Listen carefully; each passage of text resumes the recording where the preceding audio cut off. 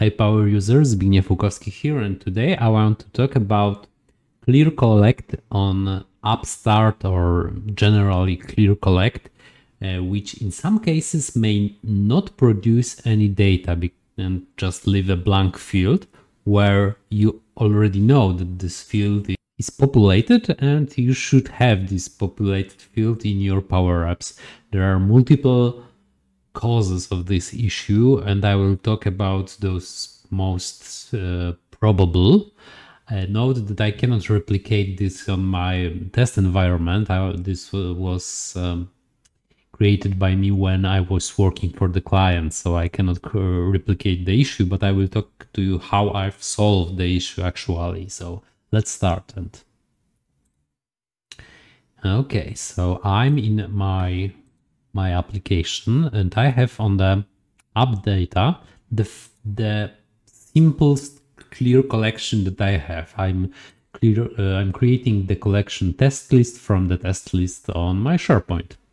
And this, this should produce my results, but let's say it didn't produce, but it did.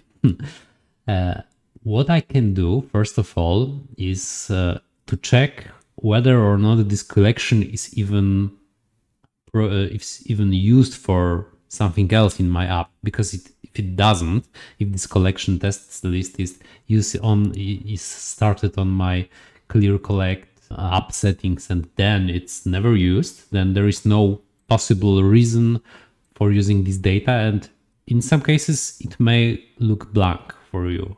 I don't and know exact code which operates in the background and why it's sometimes blank and sometimes not, but it may look blank. So if you only created the collection in the app start and you only loaded this collection and you don't do anything with it, then try to use those data in the collection and then observe if it's blank or not.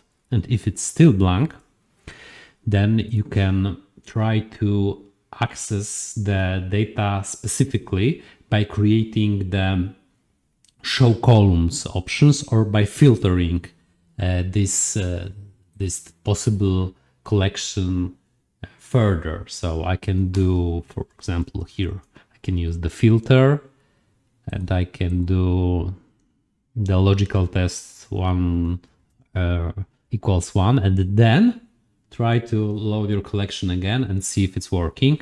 Or you can do show columns. Show columns and uh, and then uh, then use the proper uh, the proper function. So column name and let's what I have what names I have. Let's let's use the title. Cool. So if you address the specific column, then see if you still have the problem, because in most cases you won't.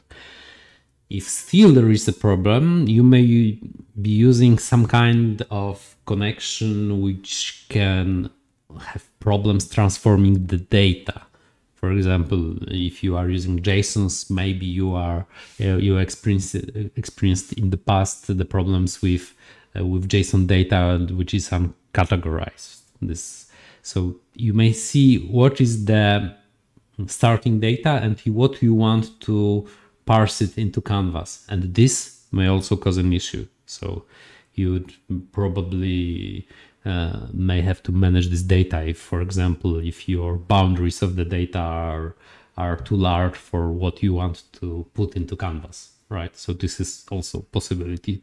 Those are four uh, in my opinion the top reasons why you cannot see the data in your collection. So if it helped you know subscribe like etc if it doesn't i mean there are also other possibilities so i cannot cannot think of all of them right, but at least I've tried to help you with those four. So see you, Zbigniew out.